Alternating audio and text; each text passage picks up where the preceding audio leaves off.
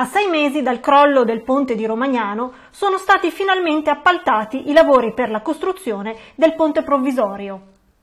In attesa di vedere l'apertura del cantiere abbiamo fatto il punto della situazione con Eraldo Botta, presidente della provincia di Vercelli, e abbiamo anche sentito alcuni automobilisti che il ponte lo utilizzavano ogni giorno. Quali sono i disagi? Quel ponte è fondamentale per il collegamento delle due province, quindi Vercelli e Novara, è totalmente sulla provincia di Novara.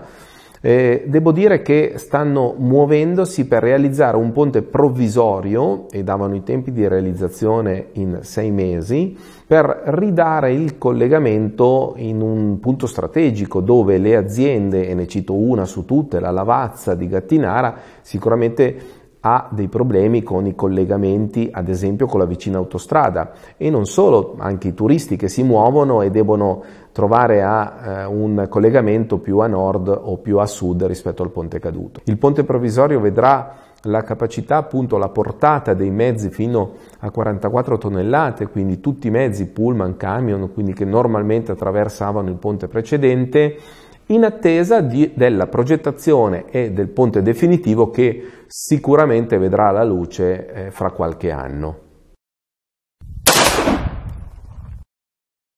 Creano molti disagi perché io che abito a Gattinara ma lavoro dall'altra parte, quindi a Romagnano, e mi, mi, viene, mi viene dura ogni mattina, cioè prima erano 10 minuti di strada, ora mi, mi viene duro perché sono, è un'ora di strada, non calcolando il traffico eccetera. Se poi capita un incidente cosa facciamo? Cioè, il ponte è una cosa molto essenziale. Il disagio più grande è quello di spostarsi perché eh, il ponte è caduto e noi per raggiungere Romagnano anche solo per una semplice raccomandata dobbiamo fare tutto il giro di Vintebbio e Vintebbio già prima era una strada bella trafficata e adesso il traffico spesso e volentieri è congestionato perché oltre ad esserci delle curve molto strette c'è comunque passaggio di camion e quant'altro. E la cosa molto grave è che a volte è congestionata la rotonda perché vediamo un sacco di persone che non sanno quale strada effettuare perché non c'è un cartello di strada interrotta, non c'è un cartello con